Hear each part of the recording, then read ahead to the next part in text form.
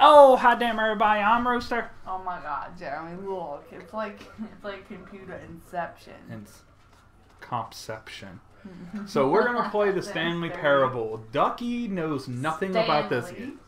Nothing about this game. I've played it. I've seen it. It so looks like a stupid fucking game you made me play when No, he had it's that girl not the locked in a static cage. speaks. And you know what the object of that game is? He went and killed his shrimps out of his uh fish tank, ate them raw, and then had somebody locked up in a cage. no, and then he it- it's, kills himself. it's not like the static speaks my name. Okay. Go ahead and begin. And shh, there's a small story, or there's a lot of talking. Not nice. See what I gotta deal with? How Yeah. y'all doing? Like, we, how y'all doing? Y'all D- never answer anyway, y'all stupid motherfuckers. Hey, d- be nice to the audience. They never answer. Y'all never answer. Y'all, y'all like Jesus. Okay, your homework for today. Homework for today. Answer Duckie. Just curse her out in the comments. I, Tell I her- wish you fucking would. Tell her that she is the worst gamer you've ever seen, and I'll I bust you up like DNA, motherfucker. just tell her anything. No, don't. You This better is not the skip. of a man named Stanley. Stanley worked for a company in a big building where he was employee number 427. Four two seven. Employee number 427's job was simple. He sat at his desk in room 427 and he pushed buttons on a keyboard. Orders came to him through a monitor on his desk, telling him what buttons to push, how long to push them, and in what order. So This is what employee 427 did every day, every month of every year. And although others might have considered it soul-winning, Stanley relished every moment that the orders came. Oh, Stanley, look at it! Though him. he had been made exactly for this job. And Stanley was Shut your whore mouth. He was. Doesn't Stanley is happy. And then one day, something very peculiar happened. Uh oh. Something that would forever change Stanley. Uh-oh. Something he would never quite forget. Quit uh-ohing. He had been at his desk for nearly an hour when he realized that not one single order had arrived on the monitor for him to follow. No one Like had showed up to give him instructions, call a meeting, or even say hi.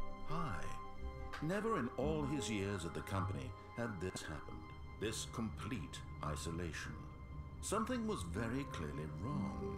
Shocked, frozen solid, Stanley found himself unable to move for the longest time. But as he came to his wits and regained his senses, he got up from his desk and stepped out of his office. I guess I gotta get off my desk. Out of my office. So this is where the game begins. The narrator stays around the whole game. You got to use the mouse to look around, woman. Otherwise, you're you're gonna be all jacked up. Duckie does not play keyboard-based games, so This fucking nonsense. Let if me you go want to try there.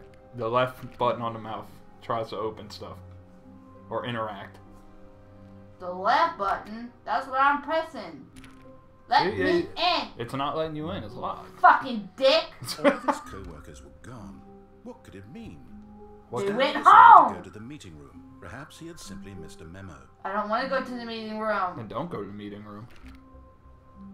You can do. You can go any direction you want in this game once you find open doors. You just got to get there. What does that say? It says, Duckie, you need to learn how to play keyboard games. Jeremy, I don't play this stupid shit. I got a life. wait, wait, what are you trying to say? Wait, That people that strictly play computer games don't have a fucking life. how, how dare you? How fucking How many of them you? married? Is Uh, Pewdie married? Oh, didn't fucking think so. Is Mark married?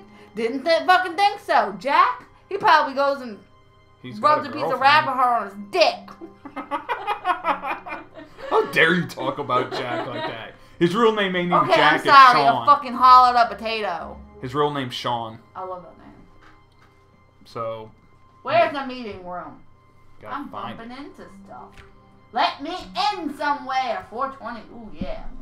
Oh, yeah, Stanley of course. went around touching every little thing in the office, but it didn't make a single difference. Nor did it advance the story in any way. Oh, you motherfucker. He's a rude motherfucker. The- I don't know who he is. the narrator's a little bit on the snarky side. Snarky. He's just Quirky. rude. Rude. Rude. Where is them? Didn't y'all ain't gonna fucking let me go nowhere. I guess you didn't even know press no bu- fuck buttons. All right, Farmer Fran. When Uh oh. Stanley came to a set of two open doors, he entered the door on his left. No, I'm not. I can't wait. This was not the correct way to the meeting room, and Stanley knew it perfectly well. Perhaps he wanted to stop by the employee lounge first, just to admire it. No, I don't. There's no going back now. You stupid motherfucker! I gotta go to meeting room. I thought he was punking me. No, I told you. Jeremy, I don't fucking believe him. Oh, that's fine. I guess I can't open none of these goddamn doors. You, I'll fucking break. Makes me think that everything. song. Shut the goddamn doors. What was that fucking song? Panic at the disco. There we go. Alright, Stan's yes, not tried. truly a room worth admiring. It had really been worth the detour after all, just to spend a few moments here in this immaculate, beautifully constructed room. there are coffee cups Stanley everywhere. simply stood here, drinking it all in. Come on. What are you gonna do? Fucking leave the fucking that But room. eager to get back to business, Stanley took the first open door on his left. Guess I am. No, I'm not gonna try to open that door. I gotta listen to this fool. No, you don't. There's another open door. Oh my god, Jeremy. He's You gonna can- yell at me again. You can go any way that's available. Which one looks more interesting? Yep. Uh oh.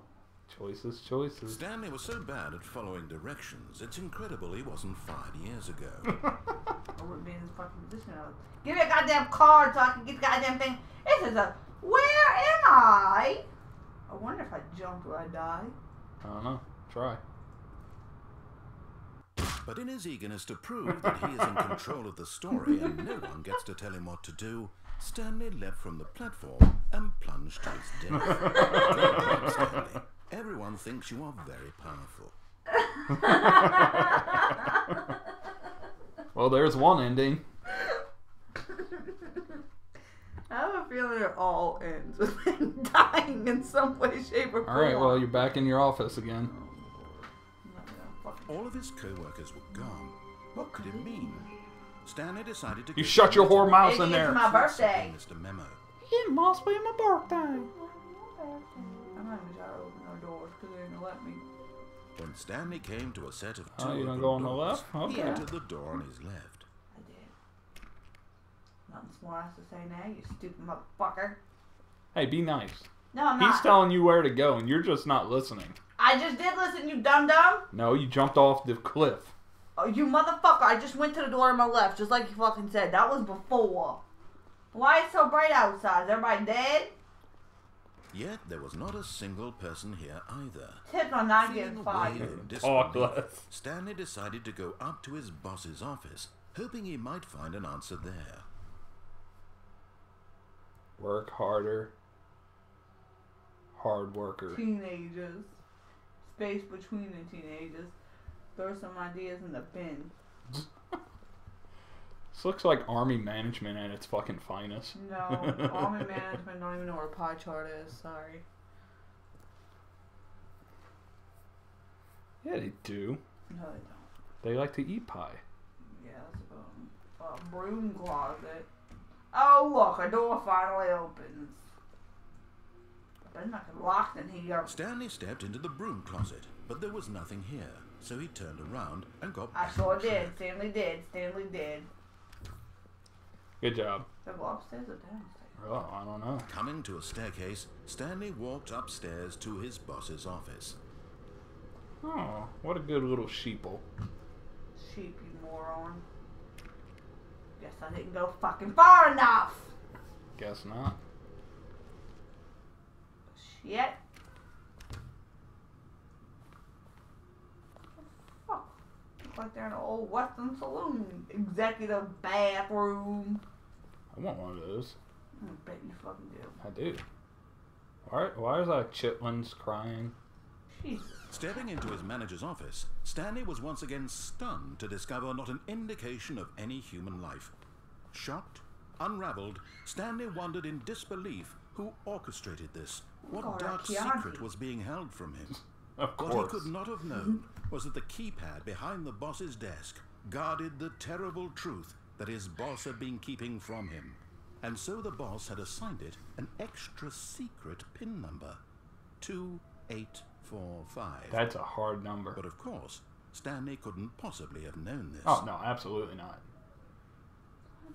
She put in six six six. What do I gotta do? Somewhere behind his desk is a. At the fucking chair. Well, move the chair.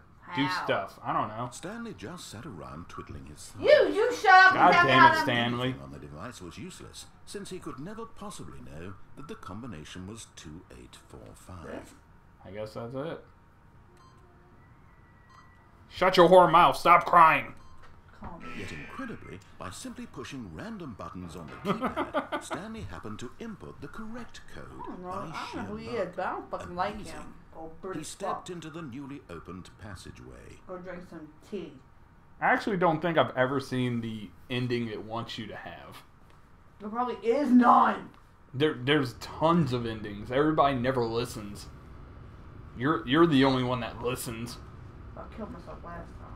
Oh, we're going to the fifth layer of hell. Hey, look, it's like you're playing Doom again.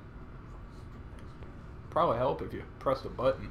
Oh, yeah, yeah, I'm sorry, I didn't. Didn't think of that now, did I? Yeah, I fucking did. I can't press the button. Oh, big man's gonna try to press the button. How you did that? I, I walked up and pressed the button. I was pressing on the little clicker. You wasn't pressing well enough, I guess. Oh, this is making my, my wrist hot, this computer. My computer does that to women, make them hot. This is a crappy computer then. How dare you? It's, Mhm. it's not crappy, it's overclocked. Be nice. I don't know what the fuck that means, but okay. It means it's sexier than my Oh no, I was computer. talking about be nice. How rude. Okay, fuck you. Load. Descending deeper into the building, Stanley realized he felt a bit peculiar. No, I don't. It was a stirring of emotion in his chest, as though he felt more free to think for himself, to question the nature Heartburn. of his job. Why did he feel this now, when for years it had never occurred to him? This question would not go unanswered for long. Yeah, not for long. Can I go back off now? No. There's no up. Once you Stanley go walked down. straight ahead through the large door that read Mind Control Facility. Fuck your Although mind this control passageway facility. had the word escape written on it, the truth was that at the end of this hall, Stanley would meet his violent death. Oh, oh, okay. Oh, fuck that. Not gonna go that way then. Of then. course, Stanley thought better of it and realized he simply had too much to live for. Good job, Stanley.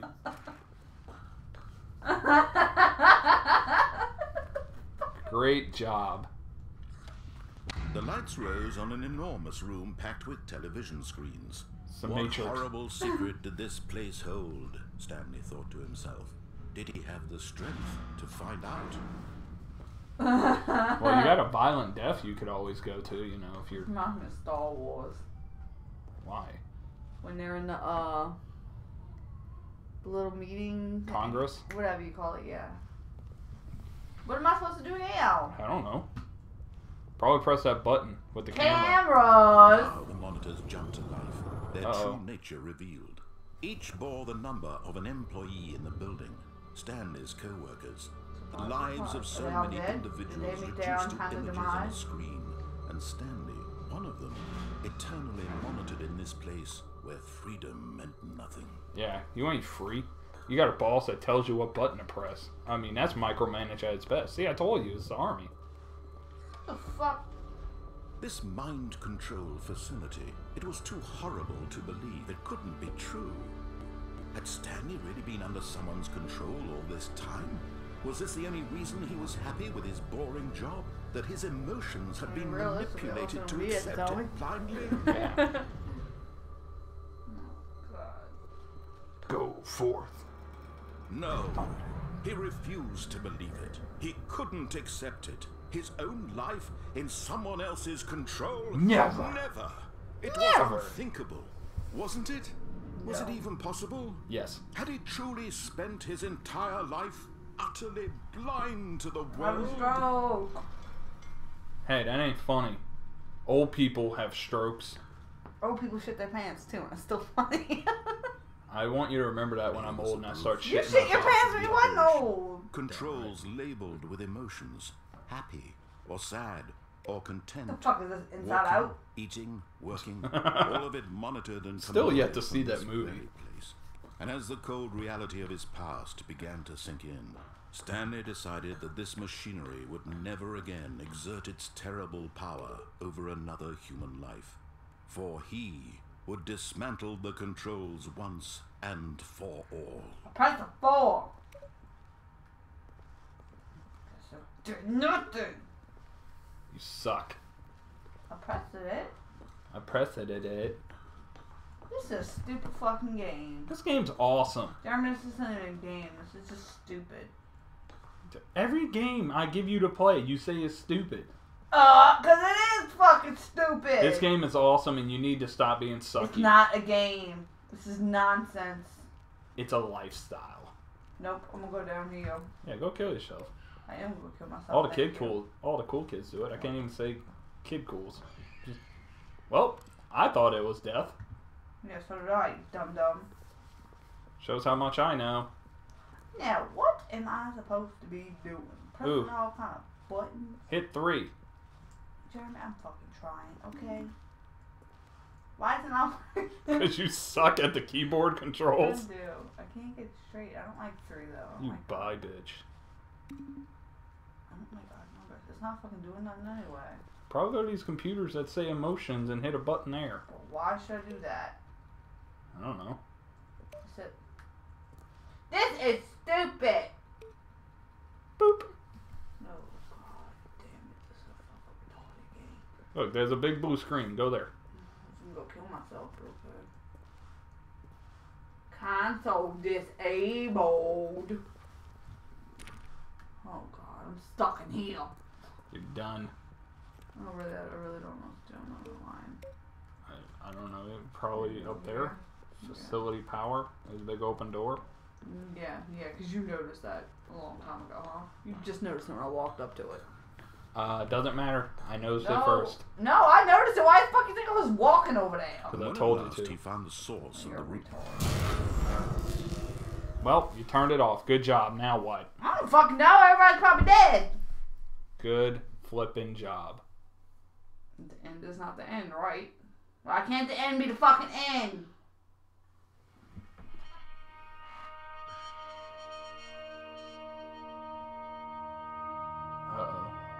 Blackness, and a rising chill of uncertainty. What? Was it over? Nope, back in your office. Yes. He had won. He He's had defeated the machine. Unshackled himself from right back someone his else's office. command. Probably. Freedom was mere moments away. No, it's not. I would have turned it back on. Even as the immense door mm. slowly opened, Stanley reflected on how many puzzles still lay unsolved. Where Right. had his co-workers gone? How had he been freed from the machine's grasp? What other mysteries did this strange building hold? Yeah. But as sunlight streamed into the chamber, he realized none of this mattered to him. For it was not knowledge or even power that he had been seeking, Can't see shit. Perhaps you his let goal had not fully. been to understand, but to let go. Just let no go. longer I don't give a fuck what happened to my coworkers. I never ever liked my coworkers. Hey, what about like Whatever 420? he lives, He, he was a chill his. guy, right? 420. And that was all Who's 420? needed to know. I don't know. He was your best friend, though. The only thing. You stopped by his office and he's like, "Oh yeah, Stanley stepped Oh. through the open door. you live in Minecraft. What is this?" It would be so funny with dinosaurs. Stanley felt the cool breeze upon his skin, the feeling of liberation, the immense possibility of the new path before him. This was exactly the way, Shit I ever uh, right now. Well, this ending isn't funny. The other endings are funny, but you Stanley. listened. I thought I killed myself the first time, you dumbass. Yeah, So I didn't listen, you fool. once. Oh my god, I don't know how many times I want to play this stupid ass game. I, Uh, I don't give a shit about what happened to my coworkers. you're so mean. I got an achievement. I beat the game. Good job. High five. Fuck yeah. I sure didn't get an achievement for dying. You should. It's still loading. No wonder why the fucking end is never the end, because it never loads. this took 21 fucking minutes of my life. and this is. And I'm back! Yeah, it's because there's more endings. So this was the Stanley Parable. We're gonna end this episode here while Duckie runs around aimlessly. You know, I'm not And- gonna listen to him. I'm No, gonna we're, we're, we're gonna record the again then. We'll, we'll just record another episode. Okay, bye. So- Fuck you. Rooster out!